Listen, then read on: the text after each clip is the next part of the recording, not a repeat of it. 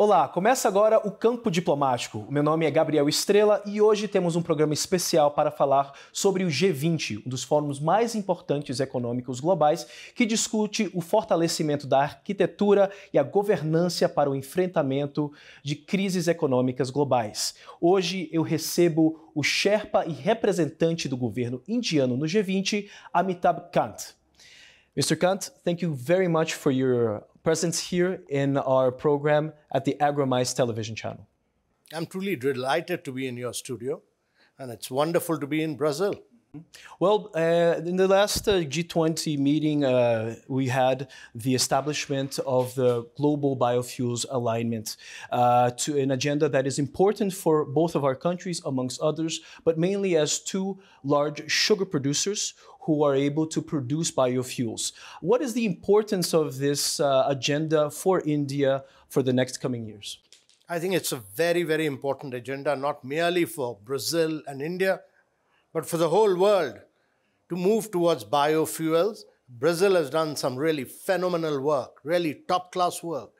You've been able to use uh, sugarcane, uh, the waste of it, to be able to produce large amount of ethanol, take your uh, automobile manufacturing, modify it to be able to absorb ethanol to 100%. I mean, that's an outstanding work which Brazil has done. You hold lessons for the rest of the world. And therefore, India is now moving towards 20% ethanol. We moved from about 1% to about 10%, we'll move to about 20%. And then we will try and work in very close partnership with Brazil to take it to higher levels. Uh, the engineering of some of these automobiles need to be modified. So we work in partnership with them. But Biofuel Alliance is in partnership with many other countries, including the United States of America, etc., on how biofuel can decarbonize the world. And that has been a very major initiative of India's G20 presidency. Mm-hmm. Well, this alignment, it provides a background for the uh, topic of energy transition yeah. that is being talked about in the G20 was talked about in COP28 uh, in Dubai. And now we are facing new challenges, and the upcoming uh, economies who are able to produce these biofuels, including also the United States, mainly with corn based biofuels, are able to generate this, uh, this transition. Uh, what has India done? What examples can you give of energy transition in India? So, uh, India produces about 185 gigawatt of renewable energy. We're the only country which achieved its NDC targets nine years ahead of schedule. We are the only country in the world amongst G20 countries in the top five of the Clean Climate Index. So India has done a lot and now it is pushing for green hydrogen. Uh, India is climatically blessed and therefore it uses renewables. It's brought down renewables to the lowest price points. It then uses renewables to crack water, produce green hydrogen. And India aims now to be an exporter of clean energy by about 2040s. We are right now importing about 200 billion worth of fossil fuel. We'll move away from this and become an exporter of clean energy that is for green hydrogen and its liquid form ammonia. And domestically, we'll use a lot of biofuel. It's not just sugarcane, it's a lot of uh, rice and wheat husk, which is burnt which pollutes the atmosphere. So we'll use all that. We'll also use corn to produce ethanol on a very large scale of 20%. But there's a lot of learning. There's a lot of partnership with Brazil on this. Mm-hmm. Well, this alignment, it also touches base on several key uh, other topics technology use, technology development, cooperation between the countries, as well as the use of other forms of fuel. India has one of the largest uh, uh, compounds of uh, uh solar energy production as well. Uh, how has this experience changed uh, the, um, the dependency of energy production from fossil fuels to renewable energy as well in India? So we are now one of the largest producer of clean energy renewable energy, solar energy. Uh, but it's important to understand that even if we produce 100% of our electricity through renewable, 100%, that's only 25% of our energy requirement. The balance 75% is all hard to abate sector where, uh, you know, you look at steel, you look at cement, you look at fertilizer, you look at refinery. Uh, all these sectors, you require right now imported fossil fuel, gas is being used, coal is being used. So our challenge is to move away from gas, which is imported, move away from coal, and produce green hydrogen and use green hydrogen to actually produce cement, steel, etc. And for transportation, use biofuel. The best way out is for two-wheelers, three-wheelers, four-wheelers, use biofuels. Even for long-distance transport, use biofuels. But for steel, cement, refinery, fertilizer, you'll have to go for green hydrogen. Mm-hmm. So how can we um, engage in this transition? One of the two groups, the two working groups of the G20 here in Brazil, is the Sherpa track and the financial track, which includes also heads of the central banks, financial ministers of the 19 countries, along with the European Union and the African Union, who take part in this forum. Uh, much has been talked about how to finance this energy transition. What is India's view and what are its policy mechanisms in order to finance its own uh, energy transition and proposals for the world? So there are two key challenges. You know, the COVID has impacted lives of citizens. So the sustainable development goals have not progressed. Only 12% of the SDG goals are on target. So that's one challenge. You need finances for that. And then you have a challenge of climate action and climate finance because the World Bank and IMF were formed in the post-World War II period. That is the post-Bretton Woods period. They were not designed for climate action. They are not designed for SDG goals. And therefore, one of the things we did during our presidency was to have an expert group on how do you remodify the mandate of these institutions. And our belief is that there's no shortage of funds in the world. There's $300 trillion available. $150 trillion available with sovereign wealth funds and with the private pension funds. We need to use that and ensure that these funds are de-risked when they are put into emerging markets. The important point to understand is that this year, 80% of the global growth is coming from emerging markets. According to IMF, in the next two decades, two-thirds of the global growth will come from emerging markets. Now, if emerging markets are important, you need to accelerate the pace of SDG implementation. You need to accelerate the pace of climate action in this, and this would require large finances. So the expert group that we had constituted said that the total requirement would be in the region of about 3 trillion, about 1 trillion for SDG, 2 trillion for uh, climate action, and the World Bank needs to modify modify its mandate to raise a lot of private funds instead of doing direct funding. The World Bank today raises only 0.6 cents to a dollar that it lends. It should be raising $10 to every cent that it lends. It needs to change its mandate to be an agency for raising private resources. And that would require World Bank to do blended finance it would require it to do first loss guarantees. It would require World Bank to do credit enhancement. And these are new instruments for raising more resources from the private sector. So we're talking about a global framework, um, re reimagining this global framework in order to finance yeah. climate-driven initiatives. Yeah and also for the countries also to to uh, spend more money also with these types of uh, programs with these types of investments for uh, there to be actual action in the short and medium long term uh, would this be a, a, way of saying that um, these international institutions need to prioritize better uh, the finance for these climate driven actions? Oh, the World Bank and IMF all need to redesign themselves they need to restructure themselves. They need to reformulate their programs for a new world. And that world is about climate action. They need to become climate financing institutions. They must become climate banks. They must become banks for sustainable development goals. They should not be just multilateral banks. The World Bank should now be a climate bank. Mm -hmm. Mm -hmm. And how does this uh, intertwine with uh, the food agenda.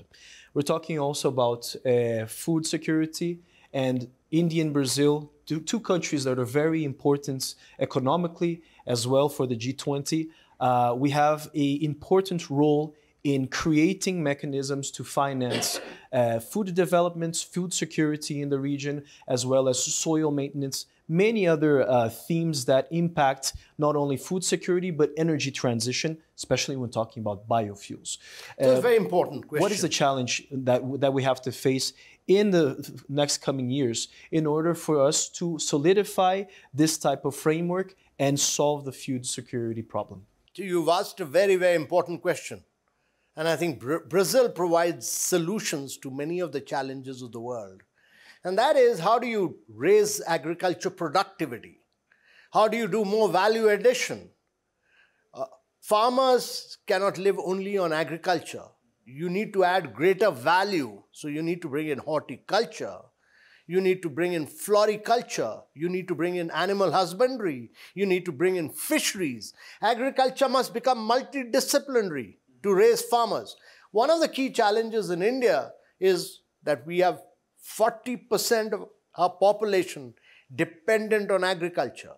And we are aiming to double our farmers' income. Double our farmers' income. That can only happen if we work in partnership with Brazil to do more value addition. We are able to push for horticulture. We are able to push for bioenergy, use the waste of agriculture to convert into bioenergy. And we work in partnership with Brazil to do a huge amount of uh, cold storages, see that better produce is provided to uh, the consumers. We are a large economy now. We are a $3.5 trillion economy. In the next three years, we'll be a $5 trillion economy. By 2030, we'll be a $10 trillion economy. And the speed at which India is growing is phenomenal. We are now growing at about 8%. 8% per annum means that we'll be a $10 trillion economy by 2031. And that would mean that your per capita income is going up very substantially. And all of them, all of them are looking for good agricultural produce and value addition in agriculture is critical. And we should help our farmers to raise their incomes through this. One of the ways that this can be done is by investing in uh, processing plants, obviously, but also it is important to invest in technology as well as digitization. Can uh, India, how can, uh, can India contribute to this agenda of digitization, technology development in order to finance these energy transition goals? So India has done a lot in terms of uh, technological leapfrogging. India's every person, 1.4 billion people have a digital identity. We have, every Indian has a bank account. And we have now linked the bank account with both the digital identity and the mobile number. So 1 billion smartphones linked to the bank account. So we all do digital payment on our mobile. I have not been to a physical bank. I've not been to an ATM machine. I've not been, uh, I've not issued a check or I've not used a debit credit card in India for last four and a half years. I only use my mobile. My mobile is my bank. And for every Indian, mobile is the bank. So we do 48% of the real-time payments in the world in India, 48%. We do 11x of what USA and Europe do, we do 4x of what China does. And then we do cashless, paperless credit based on the history of consumers. All cashless, paperless. And stock markets have gone to tier two, tier three cities and rural areas, all on mobile. The digital identity, you can do a transaction in one minute.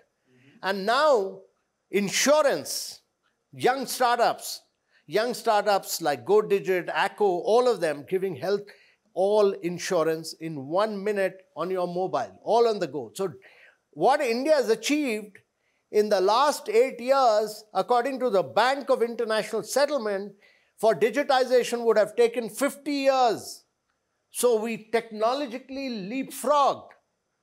And now our startups have got into agriculture in, for providing inputs, for doing value addition, for taking agriculture produce from rural areas and providing to consumers living in tier 1, tier 2 cities so that you can get completely packed consumer products of very high quality in close to about 15 minutes at your doorstep. Now, that is what the disruption in terms of technology has happened in India.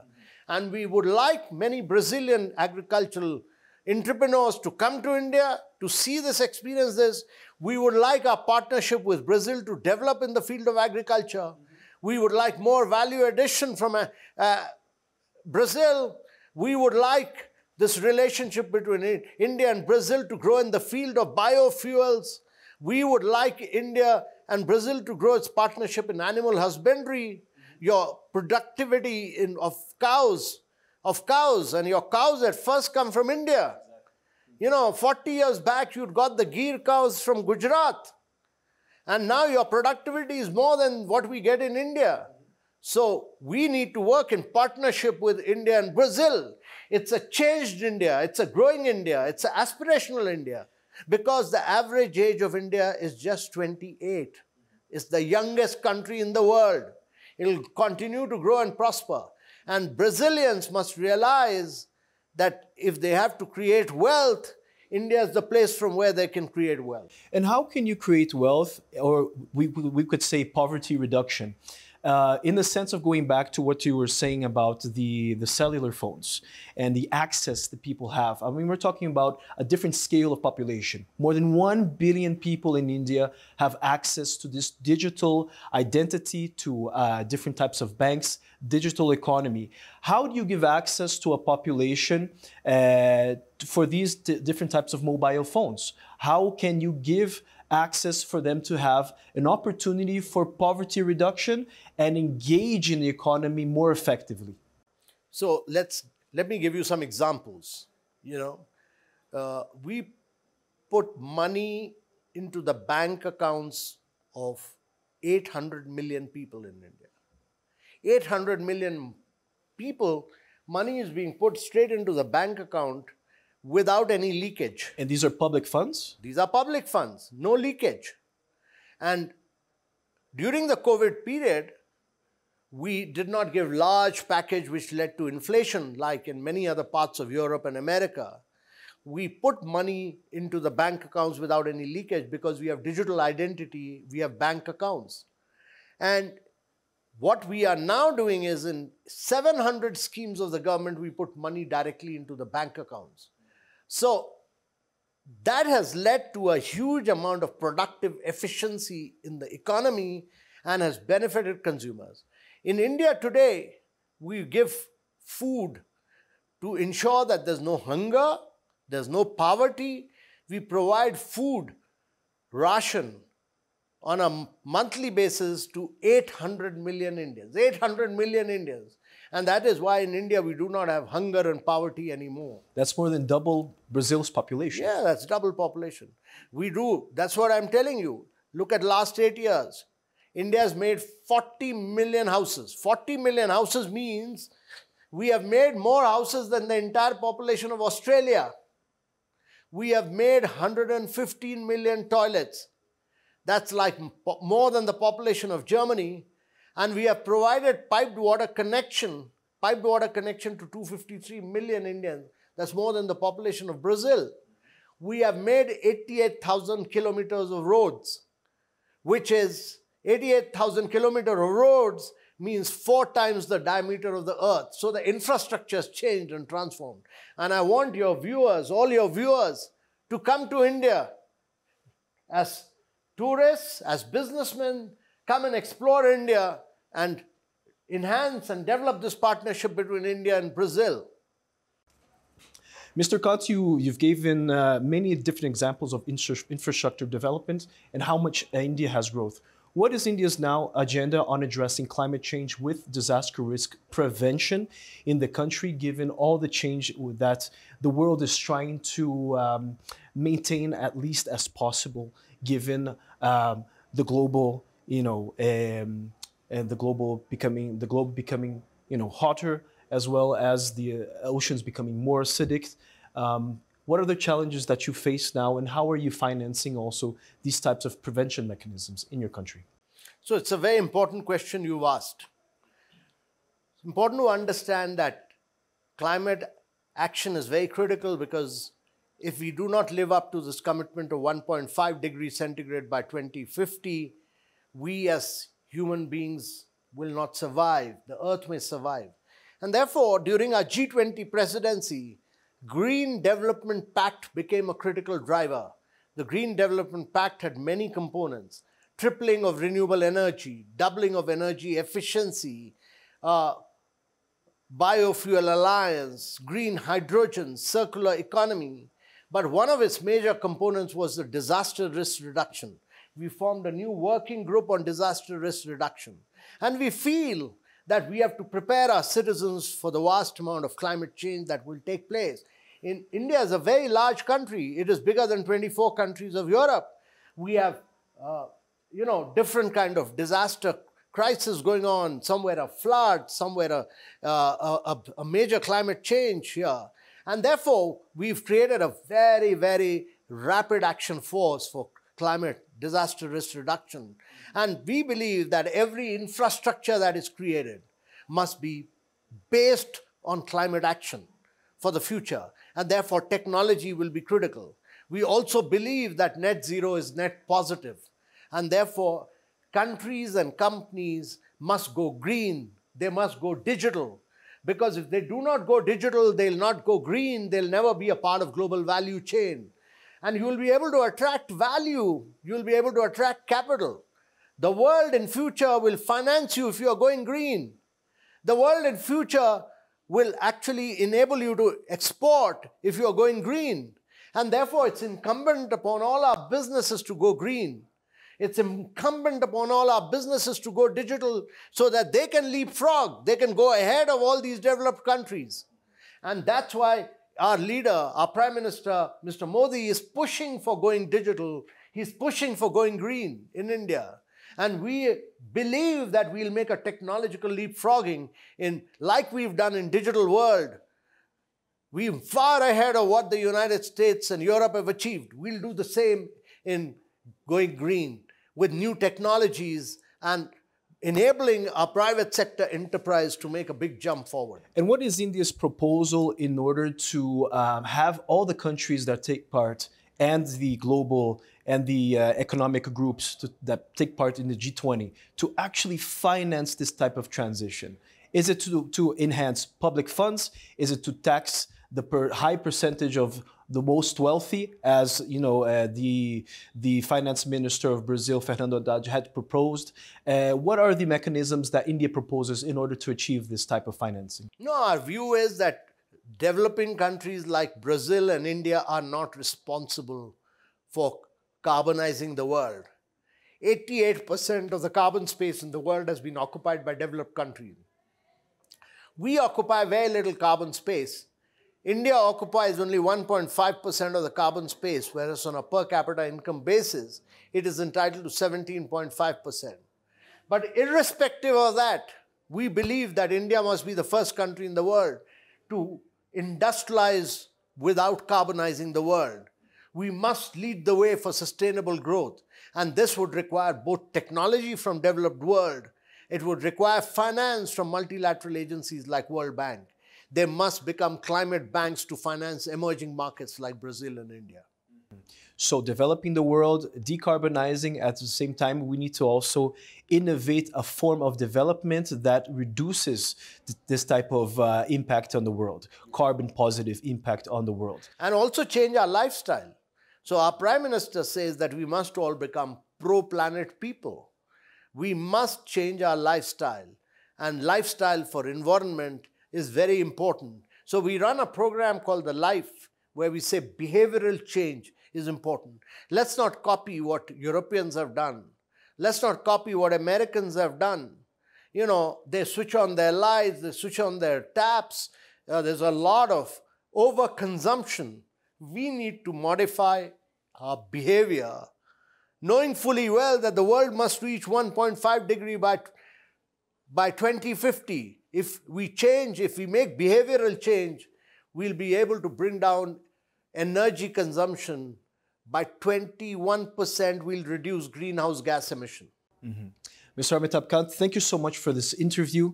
It's a wonderful opportunity for us to get to know more about India and the agenda in the G20 reunion that is happening in Brasilia. Uh, I'd like to, uh, you know, extend my gratitude to you and to India for also participating always in, uh, in this important program. Thank you so much. No, such a pleasure. I wish Brazil all the best for its G20, and I wish all of you, your channel, your viewers all the very best, and I look forward to welcoming them in India. Thank you very much. Thank you. Eu conversei com Amitabh Kant, representante e Sherpa do governo indiano no G20, uma das mais importantes reuniões sobre desenvolvimento econômico global. Eu convido você a acompanhar este programa, entre outros, no nosso canal YouTube, AgromaisTV. Eu fico por aqui e eu te aguardo no nosso próximo Campo Diplomático.